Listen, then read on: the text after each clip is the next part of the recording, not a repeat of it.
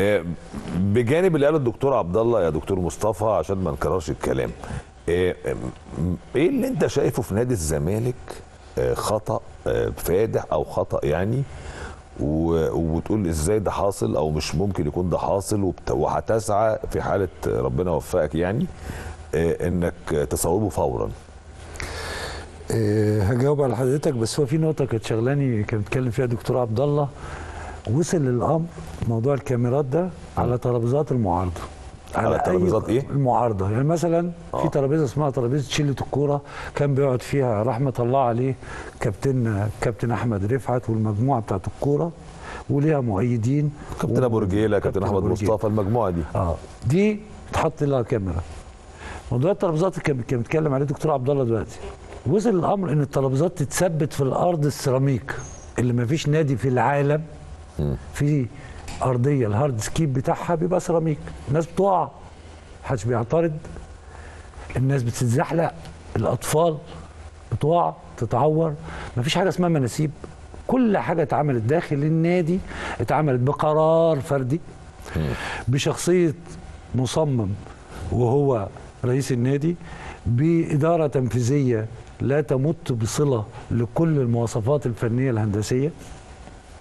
وأنا بكلم حضرتك اهو النهارده 2 2 22 لو نادي الزمالك ليه master plan مرسوم وموقع ومعتمد من اي حد داخل النادي أنا مستعد اقابل اي عقاب لو كلمتي دي مش مظبوطة. لا يعني إيه؟ يعني يعني ما فيش مكتب استشاري؟ ولا في اي حاجة عن اي حاجة. إزاي؟ فيش يا فندم. موضوع ماشي كده وأي إنشاء آه، في أي عمل عام آه، لازم له رسم ولازم له الله. مكتب استشاري معتمد و- يعني دي إجراءات أصلا يعني الله ينور عليك لا لا دي إجراءات قانونية رسمية مش الله ينور عليها دي إجراءات ده أنت بتتكلم. الكلام ده اللوجيك المظبوط الأساسي ده دي لوائح ثابت. وقوانين مش آه. عشان كده إحنا نادي الزمالك زيه زي المناطق العشوائية إحنا في قانون مصالحة المباني كل المباني اللي اتبنت جوه جديدة دي وأنت ماشي كده يطلع م- مبنى هنا طب أقول لك على حاجة؟ مبنى بتاع صالة الجمباز اتحط في المدخل اللي تخش منه الطوارئ لا قدر الله. لو حصل حريقه في نادي الزمالك لحد وإحنا قاعدين دلوقتي لو دخلت عربية مطافي لمكان الحريق بحساب. وهو ماشي الحتة دي واسعة زي استوديو كده الله أكبر كبير. يلا بقى الحتة دي تمشي صالة جمهوريه حصل. وما تعملهاش رسومات وما تعملهاش رخصة وبناء عليها. اللجان اللي جت فحصت دي هي خدت مخالفاتك على إيه؟ إن حضرتك ما عملتش رسومات هندسية ما اتبعتش الأصول والإجراءات اللي المفروض تتبعها وعليه في كل القطاعات حتى الصالة اللي فتحها معالي الوزير الدكتور أشرف صبحي محطوطة فين؟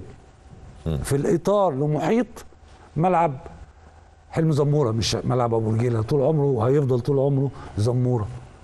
عندنا الدنيا تدار عشوائيا. والدليل على كلامنا اللجان دخلت فتشت دي طلعت إيه؟ الأخطاء الهندسية الأخطاء اللي موجودة في الاشتراكات الأخطاء في الدورة المستندية والمالية نادي الزمالك رجع بعد 2018 بعد لجنة اللي هو الفار لما جت وفحصت وطلعت المخالفات واتحال الملف لنيابة الأموال العامة العليا والطلب رفع الحصانة من مجلس النواب السابق على اللي بيدير حاليا رئيس اللجنة ولا ما طلبش؟ ولا طلب. ده طلب رسمي الدنيا كلها. واتقال في قرار النيابة غلت يد النيابة لتحصن المتهم الأول بالحصان.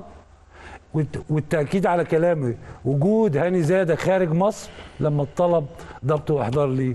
بعض الزملاء التانيين خدوا من نيابه الأموال العامة العليا خارجين بكفالة منهم المحترم رحاب ابو رجيله وراح المستشار أحمد جلال. وزيدك تاني في التفاصيل في في النيابة مدير المالي بتاع نادي الزمالك اتحبس أربع أشهر. اتحجز أربع أشهر اتحبس عفوا أربع أشهر 10 أيام. مدير الشؤون القانونية بتاع المديرية اتحجز على ذمة القضية دي أربع أشهر 10 أيام. لأن كان في مخالفات. المخالفات دي ما ماتتش. ولو الجمعية العمومية جابت ناس تحافظ لها على مكتسباتها ومقدراتها المالية وأتمنى إن أكون واحد منهم الدكتور عبد الله ومجموعتنا فيها هنجيب الفلوس دي المال العام. وحضرتك نائب وعارف عمره ما بيسقط بالتقاضى طبعا. ده عند الناس اللي مش فاهمة. هيجي الحق هيجي لأنها أرقام تجاوزت المليارات. لما يجي وقتها في في المدخلات اللي دخلت النادي هحصر لحضرتك وأقول لك جت منين. ومعايا ميزانية لكن أنا هتكلم ببساطة للمشاهدين والأعضاء الجمعية العمومية والجماهير نادي الزمالك الارقام دي فين